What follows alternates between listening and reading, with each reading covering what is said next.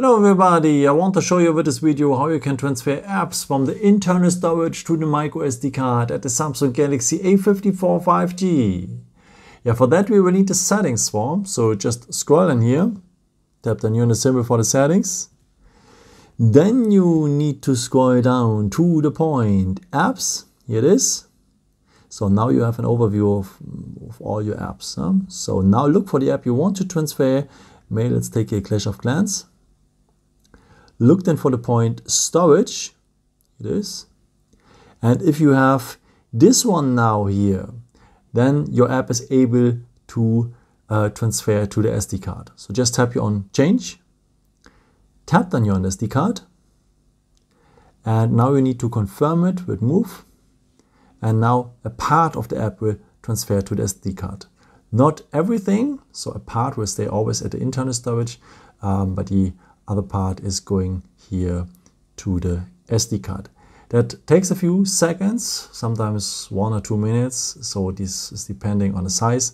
So this is why I will forward the video right now. Okay, now we are back and the part of Clash of Clans is now here on the SD card. But this service is not available for all the apps. I've discovered that WhatsApp doesn't support it and so on, but most of the apps are able to transfer. Okay, let me show you now uh, what you should do if you want to bring uh, the stuff uh, from the SD card back to the internal storage in case you want to change the uh, SD card and so on. So uh, in our example, let us transfer Clash of Clans back to the internal storage.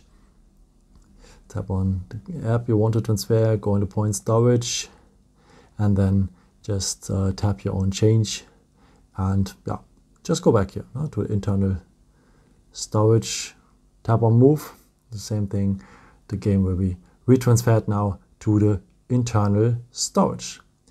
Yeah, that's it. I hope I could help you with this video and answer your question. And uh, yeah, maybe if you want, you can leave me a nice comment or give me a thumbs up. That would be very helpful for my videos. Uh, thank you so, so much for.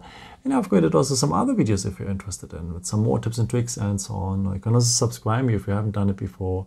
Thank you so, so much for your support. And um, yeah, maybe at the next time.